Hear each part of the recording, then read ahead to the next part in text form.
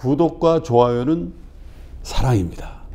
자, 오늘 예고해드린 대로 서강대학교 경제대학원의 김영익 교수님 모시고 아, 또 우리 김영익 교수님도 팬분들이 고정 팬분들이 꽤 계세요. 네, 오늘 한번 주가와 실물 경제의 괴리 이야기. 너무 궁금해 지금. 네. 김영익 교수님의 포지션은 어떤 건지. 네? 너무 궁금해. 네, 그리고 보통 교수님들이 이렇게 어, 어떤 전망에 대해서 굉장히 조심스럽게 말씀하시는데 네. 우리 교수님은 철저한 자신의 어떤 데이터 분석 모델에 의해서 아니 데이터도 나오는데 그거를 뭐 융통성 있게 얘기할 여지가 없는 거지. 네. 뇌피셜은 융통성이 있어요. 정확하게 말씀해 주시는 우리 김영익 교수님 모셨습니다. 어서 오십시오. 예. 어서 오십시오. 안녕하십니까. 네. 반갑습니다. 근 한 달 만에 뵙는 것 같습니다. 예, 한 달 거의 된 것 같습니다. 그동안에 네. 어떠셨습니까? 뭐 그동안 데이터 열심히 지금 쳐다보고 있습니다. 진짜 데이터 열심히 분석하시는 분이에요. 네. 우리 교수님의 또 모델이 있으시고 자, 오늘 또 그때 네. 나오셨을 때 제 기억에는 2,000포인트 넘는다. 근데 2,000포인트 위에서 한 5% 어간 이 그 상단 아니겠냐 이런 말씀하셨단 말이에요. 그럼 2,100? 2,100 어간. 음. 그죠? 그렇게 보신 거죠? 예, 제가 뭐 기간적으로는 4월에서 6월살이 6월까지 오른다. 맞아, 맞아. 예. 예. 6월까지는 예, 상승 그리고 2천 좀 넘을 것이다. 2,000좀 넘을 것이다. 뭐 이렇게 말씀하셨던 그- 것 같아요. 제 모델이 수치는 정확히 맞출 수가 없고요. 예. 저늘 말씀드리고 싶은 것은 방향만 좀 봐달라. 예. 아니 근데 지금 그렇죠. 지금 지수대나 시기적으로 보면 대충 그그 말씀 예측하셨던 예. 에, 그 고점 부근에 와 있단 말이죠. 정확하게 뭐 2120까지다 이런 게 어디 게 있어요. 그러니까 대충 그 정도 레벨인데 네. 그래서 이제 교수님을 급하게 또 모신 거란 말이에요. 어떻게 봐야 될지 지금은. 이제는 그 과거에 말씀해 주신 모델로는 이제, 이제 밑에만 보고 있는 겁니까 이제? 예. 지금 뭐 이번 주가 거의 이번 그 상승률 4, 5, 6월 상승률 거의 마무리 되고 있지 않나. 큰일 났다. 어, 여기 어떻게 하니? 어, 빨리 정리해야지 이번 주에 그러면. 예, 그래서 제가 그 12페이지 혹시 그래프 결론인데요. 아 네. 결론부터 가는구나. 네. 자 혹시 준비된 12페이지 그림 한번 보여주시면은 예. 제가 가지고 있는 모델로 이걸로 4, 5, 6월까지는 오를 것이다. 네. 예, 그런데 이건 뭐 방향만 보시면 될 것 같고요. 그 다음에 올말 지수 기준입니다. 네. 예, 그래서 지금 뭐 4월에서 6월까지는 좀 가파르게 올랐고요. 예. 예, 문제는 이게 특히 그 7, 8월 가면은 좀 상당히 안 좋게 나오거든요. 지금 저 차트가 얘기하고 있는 게 뭡니까? 어떤 네, 지수 방향입니다. 지수? 예, 방향인데 예. 이 절대적인 수치 자체보다는 예. 좀 방향을 보시라고 제가 저번에 이걸 가지고 4월에서 6월까지는 좀 올라간다 이렇게 그림을 그려놨었는데 네. 네. 코스피 박스권 지속 방향 예측이라는 제목의 그래프에 예. 듣는 분들 위해서 조금 설명해드리면 예. 그 그래프상 빨간색으로 2020년 3월쯤에 맨 바닥 찍고 예. 5월 넘어서 6월 중순. 예, 초중순쯤부터 이제 쭉 지금이네. 내려가기 시작해서 8월쯤에 한번 저점 다시 찍고 예. 10월쯤에 다시 한번 올라가는 그림입니다. 예, 예. 그 10월에 조금 올라가는데요. 네. 근데- 근데 결국 우리나라 주가가 뭐 추세적인 상승보다는 그러니까 여기서 조금 더 설명을 드리면은 네. 지금 빨간 선으로 그려진 끝선이 5월 말 지수고요. 네, 저 네. 월말 지수로 하다 보니까요. 아, 예. 월말 예. 지수로. 네 네. 그래서 6월 말 지수는 5월 말보다 더 떨어진다는 나- 겁니다. 낮아져 있을 것이다, 예, 더 6월 낮아질 말이. 것이다. 음. 예, 그리고 7, 8월에는 조금 더 예, 어려운 시기가 한 번 더 올 수 있다. 예, 이렇게 지금 보고 아 있습니다. 근데 6월 말이 5월 말보다 낮은 것까지는 제가 그 마음 아프지만 좀 받아들일 수 있는데 음. 지금 저 차트로 보면 7, 8월은 상당히 낮은데 아니 이렇게 돈 많이 들어와 있고 어우. 나스닥 막 만찍 지금 만스닥이라고 그래요. 만찍었다고. 예, 예. 이렇게 빠질 수가 있나? 예, 그런 의미에서 지금 제가 제목을 그 실물하고 주가하고 괴리가 너무 벌어졌다. 예. 네네. 이런 말씀을 드렸는데요. 예. 우선 좀 미국부터 한번 살펴보겠습니다. 예. 그래서 미국. 그림 2 보시면요. 네. 예, 최근 그 미국 경제 지표는 상당히 안 좋거든요. 예. 뭐 고용 지난달에 전문가들이 한 뭐 800만 명 감소했을 거다. 그런데 이- 뭐 250만 명 증가했죠. 예. 예, 그런데 3, 4월 달에 2천만 명 이상이 감소했거든요. 예. 그러니까 3, 4월 달에 감소한 거한11% 정도 증가했고요. 예. 그다음에 소매 판매가 3, 4월 달에 20%나 줄어들었어요. 대표 예. 소비를 나타내는 지표가요. 예, 그리고 예, 미국의 그 산업 생산하고 주가하고 거의 같은 방향으로 움직이는데 음. 이게 3, 4월 달에 15% 감소했거든요. 예. 예. 근데 이 정도가 어떻냐면은 과거 그 두 달만으로 하면 그 3페이지 그림이 있습니다만은 오히려 그 1930년대 대공황 때보다는 네. 두달 충격으로는 더 큽니다. 예. 예, 그런데 주가가 이렇게 급격하게 반등을 했는데요. 물론 그 주가가 선행하고 있기 때문에 음. 아마 이거 주가 보면 산업 생산도 5월, 6월 좀 올랐을 가능성이 있습니다. 예. 그럼에도 불구하고 이 괴리가 너무 벌어졌다는 거거든요. 아, 그러니까 산업 생산 그래프랑 이제 S&P 500의 그래프를 쭉 두 개를 비교를 하셨는데 예, 두 개가 대충 이제 비슷하게 가다가 예, 어, 너무 크게 벌어져 있다. 예, 예. 예. 그래서 이 괴리 정도가 얼마인가 그래서 4페이지 그래프 한번 보시면요. 네. 앞서 말씀드린 고용, 산업 생산, 소매 판매 이거로 한번 주가가 가격 기준으로 한번 평가해 봤어요. 그랬을 때 이런 실물 기준으로 보면은 예, 주가가 지금 S&P 500 기준입니다. 한 80% 정도 가대평가가 됐어요. 이게 과거에 볼 수 없는 일이죠. 그90 실물로는 예. 미국 주가를 지금 전혀 설명할 수가 없는 거거든요. 아, 99년, 2000년쯤에 한번 과대 평가가 쭉 많이 됐었던 적이 있었고 예. 그리고 2019년 이제 아마 지금인 것 같은데 이 그래프는 맨 예, 끝에 예, 예. 지금은 과거에 99년, 2000년보다도 훨씬 더 많은 과대 그렇죠. 돼 있다. 지금 과거에 볼 수 없는 실물 충격이 왔는데 네, 네. 주가는 이렇게 많이 올랐다는 거죠. 그러다 보니까 지금은 저 미국 주가를 실물로는 설명할 수가 없어요. 음. 예, 그래서 결국 은 다른, 통화 다- 측면, 다른, 다른 거 이제 유동성 측면에서 예, 봐야 유동성 되겠죠. 측면에서 설명할 수밖에 없는데 예. 그 5페이지 보시면은 연준 자산하고 제가 S&P 500 그려놨습니다만은 예, 사실 그 지난 2월 말에서 지금 6월 3일까지 연준 자산이 발표됐는데요. 음. 딱 3조 달러가 증가했거든요. 네. 이 3조 달러가 어떤 수준이냐면은 2008년 그 글로벌 금융위기 때 미국이 세 차례 양적완을 단행했어요. 예. 네, 네, 네. 예, 그때 세 차례 양적완한 돈보다 6년 푼 돈보다 지금 단 세 달에 푼 돈이 훨씬 더 많습니다. 음. 예, 그리고 지금 미국의 그 본원 통화도 이렇게 증가했고요.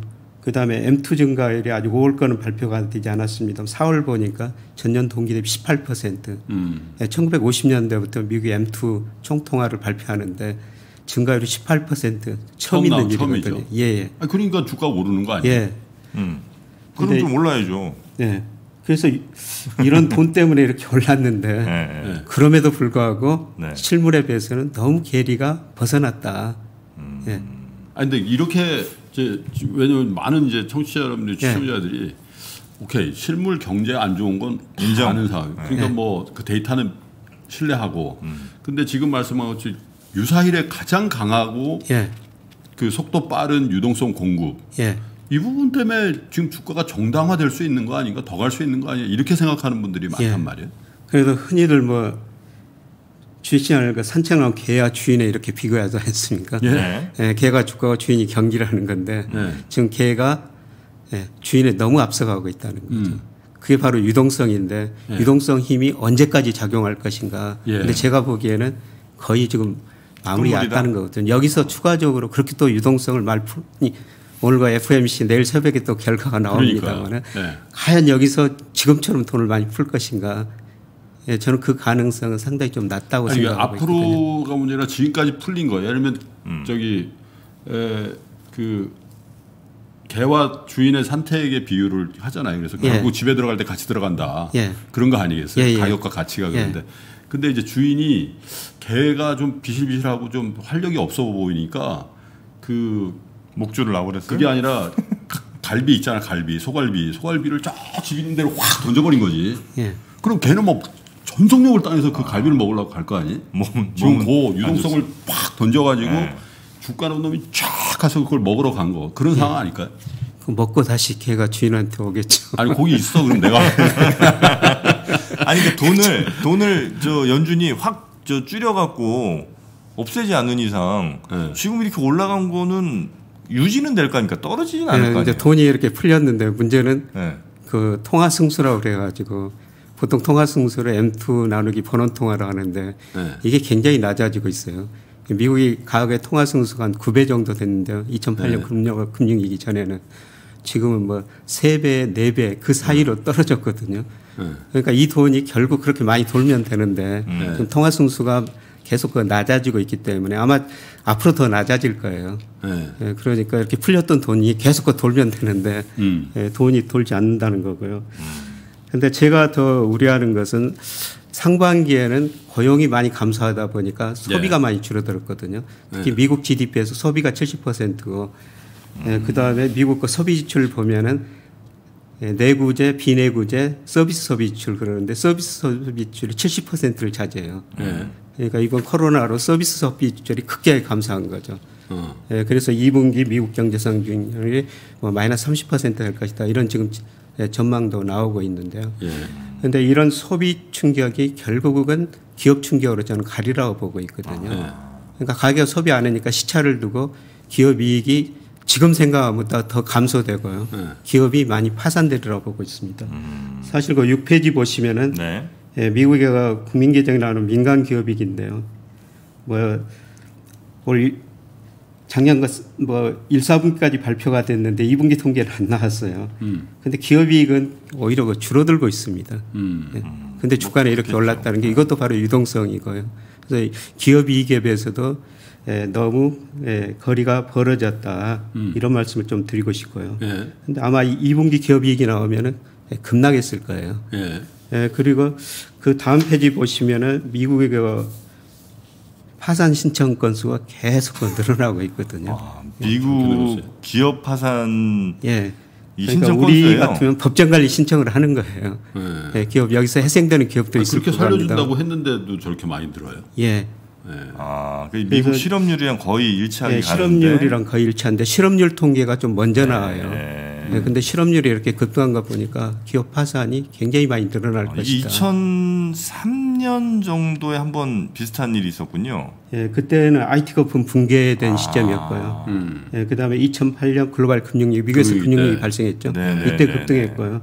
아마 이번은 그것보다도 과거 수준을 높다. 훨씬 더 넘어설 것 같습니다. 음. 예, 그래서 저는 하반기에 기업 충격이 한번 올 것이다. 음. 예, 그래서 이런 것들이 예, 주가하고 예, 지금 실물 경제 괴리가 벌어졌던 이런 것들이 그 조금 축소될 근데 여기서 네. 여기서 이제 교수님이 말씀하신 데 3개월 동안 푼 돈이 6년 동안 푼 돈보다 더 많다고 말씀하셨잖아요. 예. 유동성이라는 측면에서 일단 그 전제 하에서 자 주가 지수를 구성하고 있는 어제도 나스닥이 만 포인트 이상 올라갔다가 물론 좀 빠졌습니다만은 고점 대비하면 근데 누가 올랐나 보면 애플이 그냥 랠리를 해버린 거예요. 예, 예.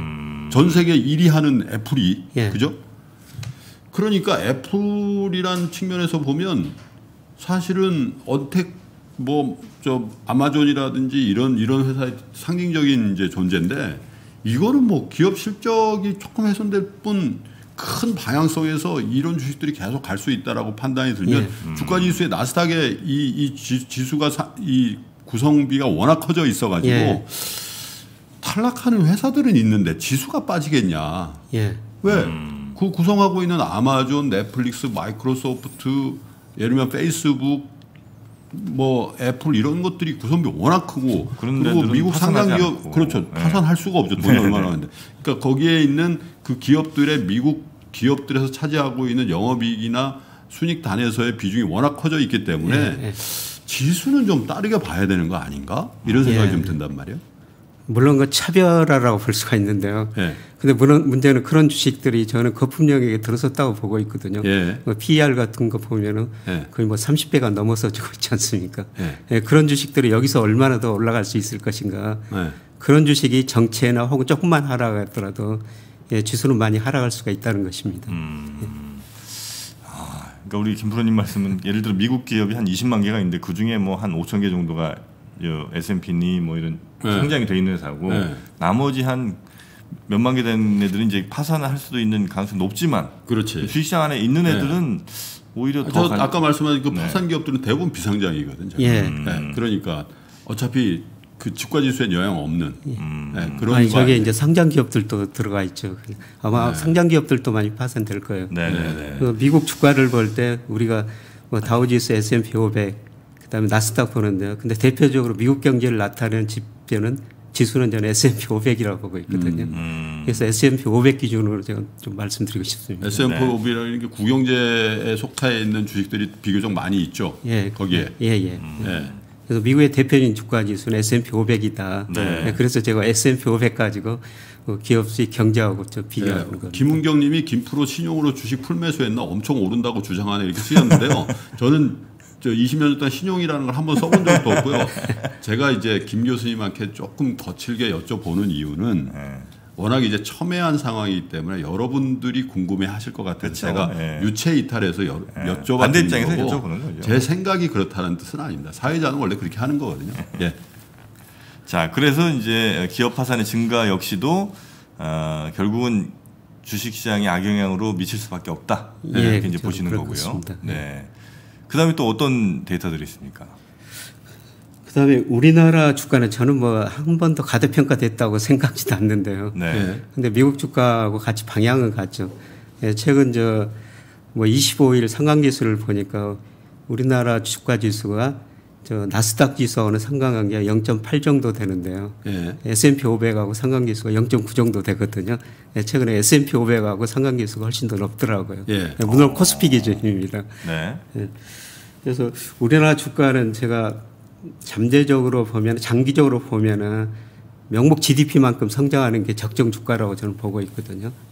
예, 그래서 명목 주, GDP로 보면은 현재 우리나라 적정 주가가 한 2,340 정도 나와요. 2,340이요? 예, 그 정도가 우리 경제력에 비해서 적정 주가다. 어. 예, 이게 그 장기적인 예, 의견이고요. 그 정도만 가면 장기적으로 거기에 접근해 갈 것이다. 네. 예, 그렇게 보는데 네. 예, 단기적으로는 미국 주가와 더불어 우리 주가 좀 조정을 거칠 거 아니냐 아. 예, 그렇게 보고 있습니다. 우선 그 8페이지 보시면은 네. 우리나라 경기 여건인데요. 뭐 대표적으로 현재 경기 상태를 나타내는 게 우리나라 통계청에서 발표한 동행지 순환 변동치, 그다음 앞으로 경기를 예측한 선행지 순환 변동치죠. 근데 우리나라 통계청에서 2017년 9월이 경기 정점이라고 예. 발표를 했거든요. 2017년 9월이 예, 경기 정점이다. 경기 정점이다. 네. 예, 그리고 작년 하반기에 경기가 좀 지표들이 좋아졌었어요. 우리 그래서 경제가 회복되지 않느냐. 예. 예, 그랬는데 지금 코로나 사태로 이게 더 급나가고 있거든요. 예. 그래서 역사상 네. 우리나라 경기 수축 국면 과거 평균이 18개월이었었어요. 네. 가장 길었 때가 28개월인데요. 지금 코로나 때문에 그 이상 경기 수축 국면이 진행되고 있거든요. 음. 지금 보여주신 그래프가 이제 좀 듣는 분들 위해서 설명을 드리자면 선행지수 순환 변동치라는 저선 하나가 있고 동행지수 순환 변동치라는 선 하나가 있는데 예. 이두 개가 정확히 뭘 의미하는 거예요? 네, 동행지 순환 변동치는 현재의 경기 상태를 나타내는 대표적인 지표예요. 통계청에서 경기 정점 저점 여부를 판단할 때 여러 가지 경제 지표를 보지만은 네. 가장 중요한 게 보는 게 동행지수 순환 변동치거든요. 아, 이게 현재 경기가 어떻다는 걸 얘기해 주는 네. 그래서 거죠. 이게 올라가면 현재 경기가 좋다. 이게 떨어지면 네. 현재 경기가 나쁘다. 네. 예, 이게 지금 4월까지 통계입니다. 그럼 순환 선행지수 순환 변동치가 조금 더 앞서가고 그다음에 예. 동행지수 순환 변동치가 약간 뒤로 가는 그 정도 예. 그림이겠군요. 그 선행지수 순환 변동치가 과거에 보면은 네. 경기 전점에 빠르면 1개월, 늦, 늦으면 한 6개월 정도 선행했거든요. 네. 그러니까 경기 지- 저점을 판단하려면 선행지수 순환 변동치가 먼저 올라가야 된다. 음. 그게 주가 주가 지수도 그 안에 있잖아요. 예. 선행지수 안에. 예, 근데 묘한 그- 거는 근데 주가가 너무 올라 버렸으니까 예. 선행지수는 그게 100% 연동하는 건 아니지만 상당히 좋을 수밖에 없는 거 아니겠어요? 예. 그런데 거의 선행지수에 이제 금융지표로서는 주가지수하고 그 다음에 예. 저기 장단기 금리차가 그렇죠. 들어가 있거든요. 예. 근데 다른 거 여러 가지 실물 지표도 들어가요. 예. 네, 네. 그래서 앞으로가 선행 지수가 어떻게 될 것인가? 선행 지수가 증가해 우리 경기가 회복되니까요. 네. 그래서 10페이지 보시면은 뭐 물론 제가 가지고 있는 모델입니다. 틀릴 수 있습니다. 네. 네. 예, 그런데 지금 선행 지수가 예, 계속 떨어지고 있다가 5월 달에 잠깐 반등한 거로 약간 반등한 거로 나오거든요. 근데 이게 계속 떨어졌다가 9월까지 더 떨어진 거로 나와요. 예. 예, 아. 그래서 경기 저점 이야기 하려면은 네. 선행지수 순환병증치 올라간 거 보고 나서 네. 예, 저점을 이야기해야 된다. 네. 그래서 아직 경기 저점 이야기하기는 좀 빠르다. 이 선행지수 저점이 음. 예, 경기 저점에 1에서 한 6개월 정도 선행을 했으니까. 네. 예, 그래서 지금 우리 경기가 수축 국면이고 네. 3분기까지도 최소한 수축 국면을 보일 수 있다. 음. 예, 이게 우리나라 주가하고도 물론 그 선행지수 자체 내에 주가 지수가 들어있기 때문에 같이 움직일 수밖에 없는데 네. 네. 예, 제가 예측해 보면 아직은 예, 경기 수축 국면이고 그다음에 3분기까지도 수축 국면이 진행될 가능성이 높다. 예. 예, 저는 경기가 그렇게- 2분기의 저점이라면 지금 주식 팔 때는 아닌데 예. 아직도 더 내려가고 있는 예, 추세가 예. 적어도 한두 분기 연장될 가능성이 있다. 예, 그렇습니다. 음. 예. 그래서 선행지수를 우리가 뭐 잘 관찰하면서요. 네. 근데 이거는 그 매월 말에 지난달 걸 발표해요. 음. 그러니까 조금 과거 통계라고 할 수가 있는데 네. 예, 그래서 결국 주식시장, 금융시장에 대응하기 위해서는 예측할 수밖에 없거든요. 네, 네. 예, 그런데 제가 뭐 각종 것이 거의 모든 경제 변수를 예측하는데 네. 이 선행지수가 오차가 상당히 적습니다. 예측해 네. 봤을 때. 예. 예. 물론 오차가 있을 수밖에 없는데 네, 네. 예, 상대적으로 제가 가지고 있는 모델을 해보니까 좀 오차가 적더라. 네. 예, 이렇게 볼 수가 있겠고요. 네, 네. 그러니까 우리가 그 그 저 어려운 거 동행 지수라든지 선행 지수 말고 그냥 우리가 피부로 느낄 수 있는 우리가 흔히 뉴스에서 나오는 네. 개별적인 경제 지표 중에 지금부터 더 예, 주가 지수 볼 때 많이 봐야 될 게 뭐가 있을까요? 그 뉴스 등을 통해서 우리가 네. 접할 수 예, 있는 뉴스 지수 가운데 등에서 볼 때는 예. 그냥 심리 지표죠. 예. 예, 한국에서 할 때는 소비자 심리, 그 다음에 기업 경기 실사 지수. 예. 예, 그리고 저는 저 사실 이 그래프에는 안 넣습니다만은 예. 우리 주가하고 가장 상관계수가 높은 게 예. 이게 호주 달러하고 스위스 프랑 상대 환율이거든요. 어? 그게 네. 그게 왜 상관이 있어요? 예. 거의 같아요. 일일 선행합니다. 호주 달러랑 스위스 프랑 예, 스위스 프랑 상대 환율. 예. 그러니까 선진국 중에서는 호주 국채 수익률이 높고요. 예. 예, 스위스가 낮거든요. 낮죠. 예. 예. 그러니까 글로벌 금융 시장이 안정됐다면은 예, 글로벌 금융 자금이 그 갭이 호주로 가죠. 그 갭이 줄어들 텐데. 예. 호주로 가가지고 호주 달러가 강세를 보여요. 예. 예, 그다음에 글로벌 금융 시장이 불안하다면은 스위스 프랑. 스위스 프랑이 강세거든요. 음. 그러니까 호주 달러가 스위스 프랑에 비해서 강세라면은 글로벌 금융 시장이 안정됐다는 의미고 스위스 프랑이 강세라면은 아, 선진 시장 내에서의 자금의 한류가 어떤지 보는 거군요. 예, 근데 이게 우리 주가하고 상관계수가 굉장히 높아요. 굉장히 높습니다. 지금 어떤데요, 그래서? 지금 0.8 정도 되는데요. 예. 이게 지금 오늘 지금 이게 떨어졌거든요. 예. 예, 이게 떨어졌습니다. 음. 그러니까 제가 아침에 가가지고 제일 먼저 이게 이걸 봅니다. 예.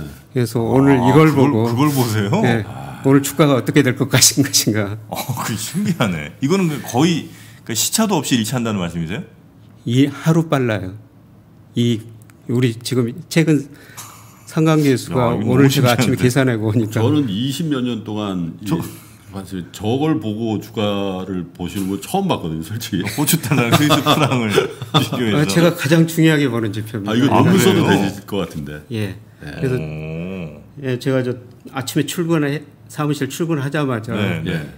뭐 이걸 또 실시간으로 저는 보거든요. 예. 실시간으로 보면서 그뭐 제가 좀 인버스 같은 거 있죠 뭐 올라가는 거는 ETF를 좀 저는 투자하는데 네. 예. 뭐 하루 종일 어떤 시점에서 사야 될 것인가. 그것까지도 장중에도 예, 장중에 이거를 한번 보면서 네. 예, 참고하죠. 지금 제 휴대폰에는 이게 지금 최근 동향이 좀 돈 주고 지금 보고 그 있습니다. inverse라는 건 이제 inverse라는 건 미국 inverse를 말씀하시는 건가요? 아니요, 우리나라. 우리나라? 우리나라, 주가 지수가 이렇게 상관관계가 높으니까. 곱버스. 예, 예. 예. 그래서 올라가는 데 살 것인가 내릴 때 살 것인가. 근데 제가 지금 이제 말씀 듣고 바로 지금 시작을 해봤어요. 호주 달러랑 스위스 프랑을 이제 비교를 할 때 호주 달러를 이제 1달러에 놓고 스위스 프랑이 0.66 지금 나오거든요. 예. 이- 그럼 이거보다 예를 들어 뭐 0.65가 아, 0.5가 됐다 이거가 좋은 건지 아니면 0.8이 되는 게 좋은 건지 이걸 잘 모르겠어요. 제가 지금 비교하고 있거든요. 아, 저 이렇게 스위스 프랑 호주 달러 계속 저 따로 해가지고 계산해야 되는데요. 아 이거 이렇게 저는 저 이 제 휴대폰 제 컴퓨터에는 아, 제가 좀 일정한 돈을 지불하고 있습니다. 음. 이걸 아, 계산해가지고 실시간으로 제공을 해주거든요. 아, 좀 주시지. 아, 알겠습니다. 그 물론 이제 뭐 그게 그게 뭐이 그 지난 지난 기간 동안에 이 유의한 유의한 correlation 그러니까 유의한 상관계수를 보여줬다 상관관계를 보여줬다라는 거에 대해서는 뭐 이제 하는데 앞으로 어떻게 될지는 모르겠고 예. 다만 그거는 저 워낙 이제 macro한 그 변수들이 많이 이제 그 함의하고 있는 거니까 예. 그런 얘기가 돼요. 우리 수출이 기조적으로 좀 중요하다. 일, 일, 뭐, 예. 일별 수출 늘면 그나마 좀 심정적인 안정성을 가질 수 있는데 예. 그렇지 않으면 불안하다 이런 얘기 하시잖아요 교수님도. 그 월별로는 제가 또 뭐 일별로는 이 지수를 호주 달러 스위스 프랑을 보고 월별로 예. 보는 게는 일평균 수출 금액이죠. 아, 일평균 수출 금액. 예, 예. 그 페이지 그래프 한번 보여주시면요. 네. 예. 이게 우리나라 코스피하고 상관계수가 0.88이거든요. 예. 거의 같은 방향으로 움직여요. 아, 근데 이것도 물론 앞으로 그 일평균 수출을 전망을 해야 되죠. 주가를 전망하기 예. 위해서는. 근데 제가 일평균 수출을 전망해 보면은 뭐 그렇게 좋게 나오지는 않거든요. 음. 예. 일평균 수출이 지금 이제 파란색 선으로 돼 있고요. 예, 파란색 색으로 네, 그랬는데 코스피가 빨간색 선인데 예, 지난 5월 달에 16억 2천만 달러 했었어요. 예. 예, 과거 평균보다 지금 훨씬 더 낮은 순위이고요. 예. 근데 이게 제 물론 전망치입니다만은 더 낮아질 수가 있다는 거죠. 음. 예, 그래서 제가 일별로 월별로 이런 여러 가지 경제 지표 보면은 여기가 주가가 추세적으로 상승하기는 좀 힘든 국면이 아닌가 예. 예, 이렇게 지금 보고 있고요. 네. 예, 그 다음에 하나만 더 말씀 네네. 그래프 하나만 더 네. 말씀드리겠습니다. 11페이지 한번 그래프 보여주시면요. 네. 예, 제가 그 장기 주가 추세를 보면서 장기 추세에서 실제 주가가 추세에서 얼마나 벗어났느냐 제 나름대로 만드는 기술적 지표라고 볼 수가 있습니다. 어, 추세에서 얼마나 주가가 벗어났느냐. 그러니까 100이 예, 주가의 장기 추세거든요. 네. 그래서 2로 10% 이상 벗어나면은 예, 최근에 주가가 너무 많이 올랐다. 그다음에 밑으로 10% 벗어나면은 네. 예, 많이 빠졌다. 예, 많이 빠졌다. 사야 네. 된다. 이건데 지금 추세선에서 지금 어제 기준으로 보면은 물론 이게는 월말 기준 가근 통계는 얼마에 어제 기준으로 보면은 예. 지금 추세선 10% 이상 벗어났거든요. 예. 예, 그래서 이게 변동폭이 과거처럼 다시 확대될 수는 있어요. 음. 네. 근데 이게 최근 추세를 보면은 이런 거 기술적 지표 제가 보는 기술적 지표에도 예, 조금 더 추세에서 지금 2로 너무 벗어나고 있다. 예, 그래서 지금은 조금 더 주식시장에 저는 조심스럽게 접근할 시점이 아닌가 예. 그런 식으로 좀 보고 있습니다. 추세보다 많이 벗어난 상황인 것 같다. 예. 대체로 이제 추세로 어쨌든 왔다 갔다 하면서 이제 그 추세를 유지는 하겠군요. 예, 그렇습니다. 네. 그래서, 예. 알겠습니다. 아, 우리 김영 교수님. 근데 이제 우리가 이제 그 이제 그 어떻게 보면 굉장히 그, 그 민감한 시기에 네. 교수님을 이제 모셨기 때문에 훨씬 더 평상시에 교수님 말씀을 듣는 반응보다 훨씬 더 민감하게 나올 수가 있어요. 그런데 에, 여러분 이제 그 교수님의 분석입니다. 그리고 우리 보면 박석중 의원이라든지 뭐 박색 전무라든지 이런 분들 모시면 박석중 의원 같은 경우는 아직도 주식 매력적인 매력적입니다라고 얘기하고 뭐 그런 그러니까 시각이 다 달, 달라요. 네, 그러니까 에, 그러나 이제 중요한 거는 다른 시각에서 여러분들의 시각을 그 중간 어디쯤에서 혹은 잘 채택을 하시라는 거예요. 네, 그러니까 저희가 이제 뭐 게스트를 모실 때 2분만 2분 말씀이 맞으니까 2분만 따라가시고 뭐 이런, 이런 의도로 모시는 건 아니고 네. 그러니까 조금 대별되는 그 다 view를 다 보여드리고 계속해서 여러분들이 공부하는 가운데서 음. 네. 어떤 view가 훨씬 더 여러분들에게 설득력 있고 여러분들의 음. 생각과 부합되는지에 대해서 한번 네. 계속해서 조율하고 맞춰 보시라는 뜻입니다. 예, 요- 저도 네. 그 말씀을 꼭 드리고 싶습니다. 예, 제가 저 경제학을 처음 공부했을 때그 네. 사무엘슨 그분 책으로 공부했는데 그분 책 서문에 보면은 한쪽으로 보면 새 주둥이처럼 보이고 한쪽으로 보면 양머리처럼 보이는 맞습니다. 그림이 있거든요. 그러니까 사회가 경제학이라는 건 그런 거라는 겁니까? 자기가 배운 이론 보는 데이터에 따라 가지고 이걸 달리 해석할 수가 있다는 겁니다. 그래서 이 시장을 어떤 사람은 올라갈 수 있다. 저, 저 같은 사람은 지금은 제가 4, 6월에는 계속 올라간다 이런 말씀을 드렸는데 맞습니다. 예, 조금 부정적으로 보고 이런 거 시각 차이가 자기가 배운 이라고 보는 데이터에 달라질 수 있다는 점을 꼭 말씀드리고 싶습니다. 네. 그럼에도 불구하고 뭉뚱그리지 않고 아, 뭐 이럴 수도 있고 저럴 수도 있지 이런 분들도 꽤 너무 있거든요. 재미없죠. 그래서 그런 분들 잘안 네, 그러죠 저희가. 네, 예? 예리한 분들을 반복적으로 이제 교차해서 네, 모시는 네, 편이 훨씬 그럼요. 낫다. 네. 혹시 이 데이터는 저희 자료실에 좀 공유를 해주셔도 되겠습니까? 예, 공유하셔도 되고요. 네, 근데 네. 제가 저 주가는 그 지수 자체가 아니라 방향이라는 거. 네. 그러니까 제가 예상한 것보다 지수 자체가 훨씬 더 올라갈 수 있고 제가 4, 6월 달에 그렸던 그림보다 더 네네네. 올라갔는데 예. 저는 사실 이것보다도 더 떨어질 가능성이 높다고 지금 보고 있습니다. 예. 알겠습니다. 그러면 이 자료는 저희가 그 페이지 투 앱에 올려놓을 거고요. 예. 아, 유튜브라든지 팟빵 게시판에 이제 링크를 좀 걸어놓을 테니까. 예, 저희 자료 신의 자료실이라고 저기 그 페이지 투 앱에 저희 페이지 있죠. 투 앱에 있거든요. 네. 거기에 오늘 중으로 오늘 오전 중으로 저희가 이 차트하고 네. 자료는 올려둘 테니까 방송 보고 방송만 보시 보지 마시고요. 예, 다시 한번 이렇게 들으시면서 보십시오. 예, 네. 보시면 더 도움이 좀 될 것 같습니다. 그러시죠. 자, 오늘 아주 흥미진진했습니다. 우리 교수님. 정프로 굉장히 걱정되는 표정이네요. 아, 저는 떨어지는 게 걱정이 되는 게 아니에요. 예. 떨어지는 게 저는 걱정되지 않습니다. 무슨 의미인지 아시겠죠? 자, 오늘 함께 해 주신 서강대학교 경제대학원의 김영익 교수님, 대단히 고맙습니다. 고맙습니다. 네.